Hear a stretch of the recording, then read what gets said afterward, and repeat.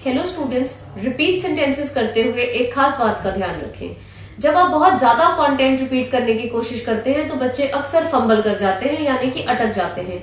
अपना focus average seven to eight words पे रखें, ताकि आपका बोलने का फ्लो भी मेंटेन रहे। एक साथ बोलिए, जितना आपको एक बार में याद आता है, उतना बोलिए। बिना ब्रेक लगाए बोलिए, यानी कि बिना रेपिटेशन के बोलिए।